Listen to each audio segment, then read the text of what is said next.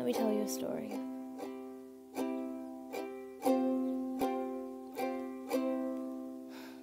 I live on a planet lonely with a populace of one. I live far from other planets and I've never seen the sun. I forget when I arrived here, it's existed for so long. This view is so familiar, I no longer think it's wrong.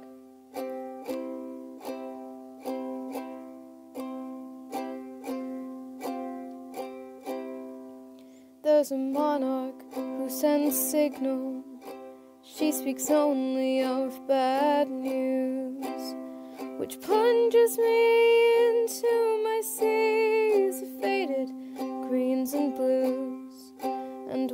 monarch sends her signal, maybe two times per rotation, unknowingly she fuels the fires begun by other nations.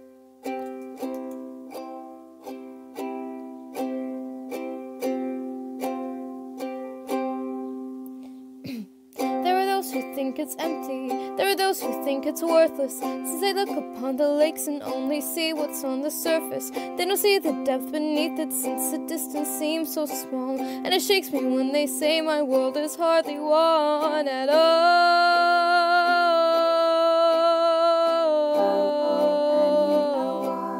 Teach me to fall.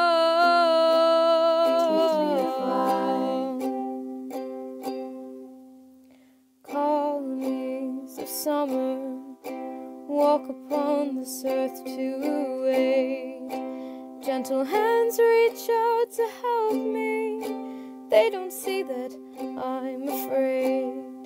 Afraid of consequence and issue. Afraid of what the others seek. Since when holy hands have parted, earthquakes thunder underneath.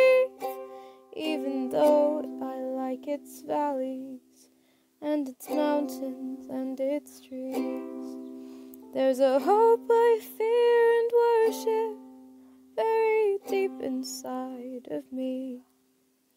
Even though it is my planet, even though it is my home, living on the planet lonely makes me wish I